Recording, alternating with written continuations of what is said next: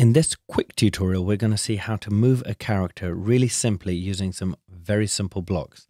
If you're watching this video, I'm going to assume you know how to open up Stencyl, set up your workspace folder, create a level, and also import your characters from an outside program like Piskel app into Stencyl with animations.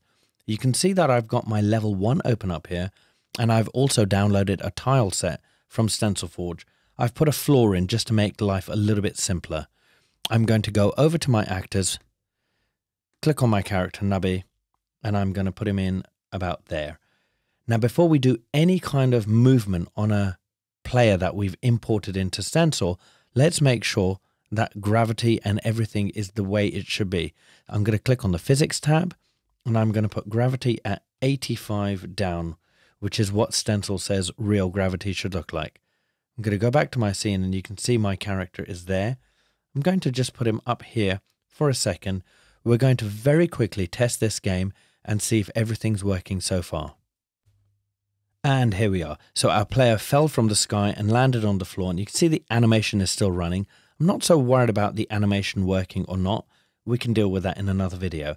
So now that we know that gravity is working and also the tiles are working, let's get going with some movement on this character. So what we're going to do is go to our nubby character like this, go to the events, and what we're going to do straight away is set up an attribute because we want to know how fast our character is going. Let's create an attribute called velocity, so VEL, and let's make that a number. Now our velocity attribute is always going to remember how fast our nubby character is walking. We're going to set up a basics when creating, that means when the game starts, I want to set the velocity to zero because I don't want my character moving. So that is a set attribute block there. I'm going to go back to basics and click on when updating. And just to remind you, when we put a when updating code in, that's the code that Stencyl has to check over and over and over again. So we want to put all of our controls in here.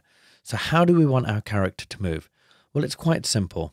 We go over to the Actors button, click on the Motion tab, and we're going to set the X speed of our character, that's the left and the right speed, to whatever the velocity is. At this moment, we've set the velocity to zero. So when this game starts, we set the velocity to zero and our character will be standing still.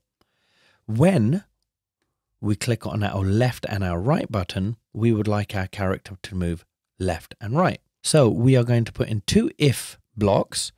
We're going to go over to user input and put in two control blocks like this. We are going to set control one to right and we're going to set control two to left like this. We are now going to tell the actor what to do when you press right or left. In this case, we are going to go back to our attributes to the setters and we're going to say what whatever velocity is when you press right or left, we want to change that number. Currently it's zero. So what we're going to do is we need a plus and we need a minus block over there. Let's go back to attributes, to getters, and we're going to set our velocities to slightly different values depending on which button you're pressing. So if we press the right button, we want to add 1 to our velocity. And if the left is pressed, we want to minus 1 from the velocity. Let's just test that game and see if it works. And here we go. So we'll press left and right. And you can see that the movement's really good, except we've got a problem because if I press right, it will move to the right, but it won't stop when I let go of my mouse. And the same with the left. So what we now need to do is put in a way for our character to slow down or to stop if we don't press the keyboard.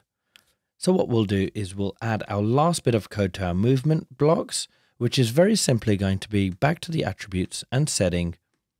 We'll set the velocity to velocity times 0.9 and let's do 8 here.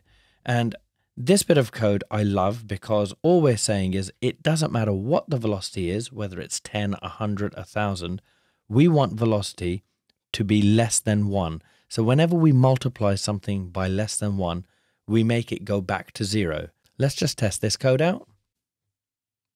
And here we go. Let's have a look. And that works really well. So I'm pressing left now and letting go, and you can see our character slows down.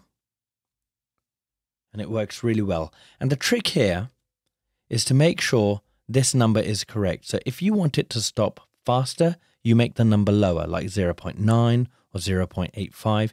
And if you want your character to really move until he stops, kind of like skidding on ice, you can make the number much closer to 1, so 0.98 or 0.999, which will be almost like the character won't slow down. So experiment with those numbers until the character slows down exactly how you want them to.